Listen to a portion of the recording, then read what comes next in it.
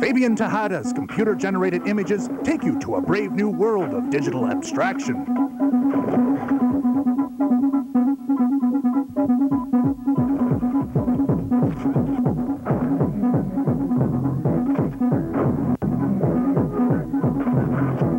Trying to recognize what all this is supposed to represent? Tough luck, it's completely abstract. Tejada doesn't look to the real world for inspiration. These images all originate in his imagination.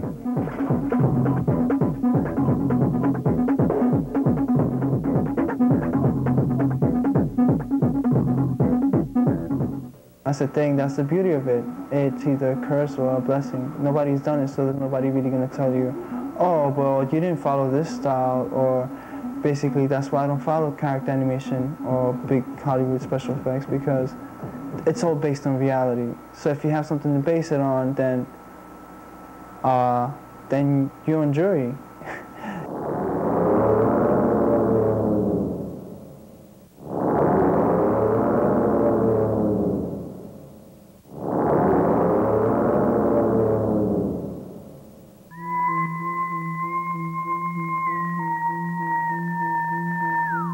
Fabian Tejada graduated in computer arts from New York's School of Visual Arts and quickly attracted attention for his quirky motion graphics. His work has been shown at digital festivals around the world and won quite a few awards. What's most impressive? With today's digital technology, there's no crew or team of technicians involved. And now that it's all digital, you really can just do it yourself. All Tejada needs is his computer and commercially available software, and it all happens in this small corner in Tejada's Brooklyn apartment.